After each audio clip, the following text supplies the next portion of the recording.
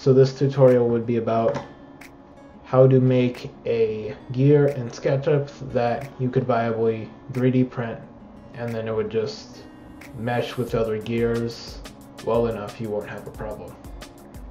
So let's start off using our template.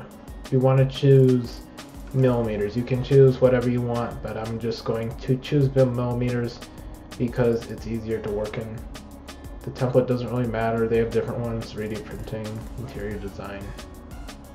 It's all fine. So you select the template and then it, it shows up with this. Alright, so once you have SketchUp open, you want to select the circle tool and then just make a circle.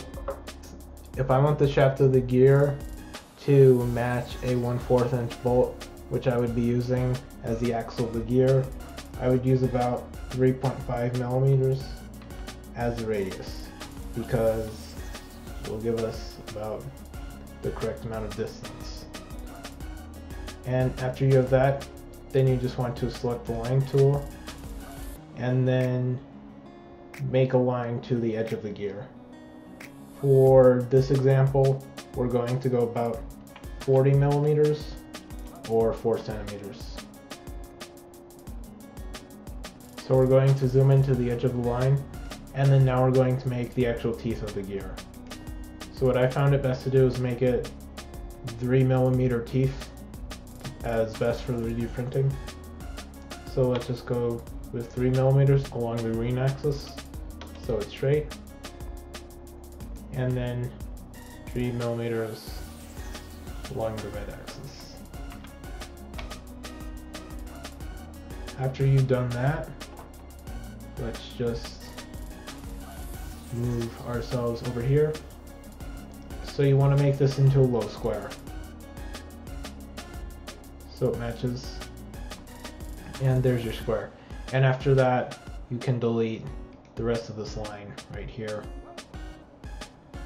Okay, that's good now. So now you just have a circle and a square and you do not want to have square teeth on your gears. So let's make it into more of a tooth shape so our gears can actually mesh together. So what I found it easiest to do was just kind of to pull, match up some of the points.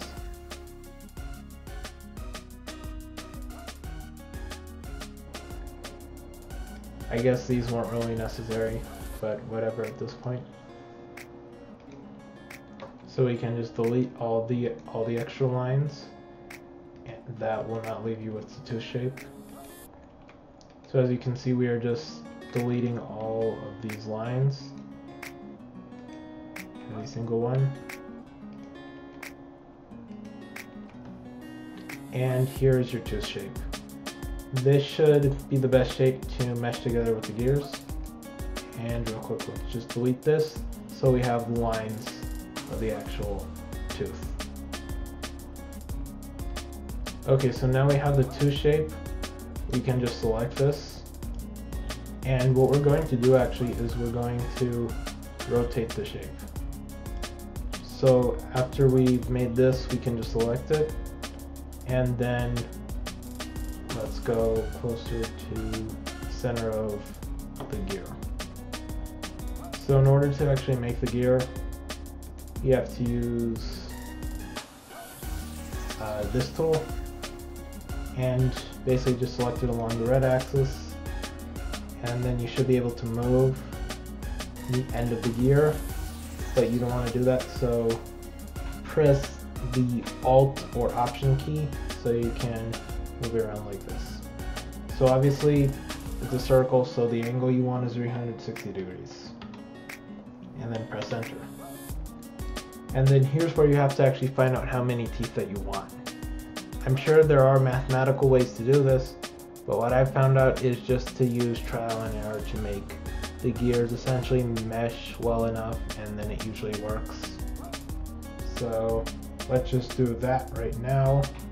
And in order to select the amount of teeth you could do divided by, let's say we want 30 teeth. And uh, yeah, this kind of looks like a gear, but let's just see the distance. Okay, so we have approximately about five millimeters between in this space right here, which is way too big. We want something a bit smaller so we could actually fit the teeth and they won't wobble around. So let's back up from that. Let's back up from that and do it again. So select it again and then do the whole thing with the protractor. Red axis, swivel it around, 360, and this time let's try divide it by 40. So we will have 40 teeth on the gear. This actually looks a little bit better now. So in between these, you have 3 millimeters, which is, which 3 millimeters in between these two points is exactly the same between here. So we have 3 millimeters here and 3 millimeters here about. You can't make this exact really because you obviously you can't have a fraction of a gear tooth and even if you did that that would just be the same as having a fraction of a space in between the gear points. So what you want to do now is just connect all the edges together. In order to do this you just connect the points, press escape. You obviously don't want to do this because then that creates a different shape and that will give you problems when you try to extrude it.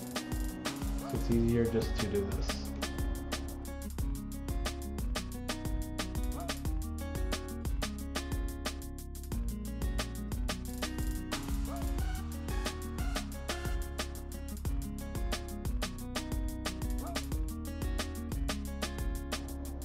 So we've done most of the gear now. It's just a bunch of squiggly lines at this point. And all we have to do is connect the last two pieces. So once you do this, it should create a shape. Okay, so now it's filled it in. And first thing we want to do is get rid of this hole. So we're going to delete that. So now we just have what looks to be a gear. And Obviously we can flip it around and it's infinitely thin. So let's make it a little bit thicker. And uh, you can obviously make this as thick or as thin as you want. This is excessive. This is a little low. And what I found is just to make it 10 millimeters or centimeter, that seems to work fine. It's a little chubby, I guess, but if you're gonna print it in plastic, PLA plastic especially. And it's not the most hardest material that there is. You want to be able you want to be able to have a little bit of extra material so it won't just chip off like it would because uh, some 3D printing plastics like PLA are brittle and you want to have a strong part. So this right here is how to make a gear and if you want to make, for example, a smaller or bigger gear that would mesh to this gear, you would just make your line going from here to here a different size when you start. You still make the teeth shape the same and connect them. Try to get the distance here as the same from here to here, but it doesn't really have to be exact, it just has to be good enough. And uh, for the teeth, the teeth don't really matter as long as the two different gears can mesh with each other. You can have the teeth however you want, bigger or smaller. Obviously bigger teeth will give you uh, stronger teeth. And if you're doing smaller teeth, you might have finer control or something like that. But it shouldn't really be much of a problem. And of course, if you want to export an STL, you export an STL and that will allow you to 3D print it. When you do that, of course, it will give you this options so you can export it in millimeters and this will allow you to just 3D print the model directly from SketchUp. So before I decided to end this video, I thought it would be good to show the finished parts. These are the two gears which I made. This is the one that I've shown it's 4 millimeter radius, so an 8 millimeter gear. and this is half the size, so it is a two two centimeter radius. And uh, these obviously are three millimeter teeth, three millimeter teeth on the same edge, and they are able to mesh with each other perfectly fine. They might grind a little bit. This is something you can refine. I'm not the best of it. I actually just figured out how to do this recently.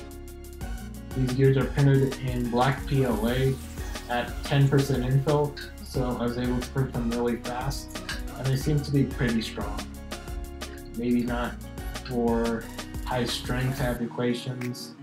Obviously, a gear made out, made out of metal at the same size would be much stronger, but you can just make these really, really cheap. You can essentially mass produce these for whatever project, maybe a robot or something. That's what these were for. Uh, and uh, so it's just a gear. This one spins, this one spins faster. To learn how to make these, and it's pretty easy.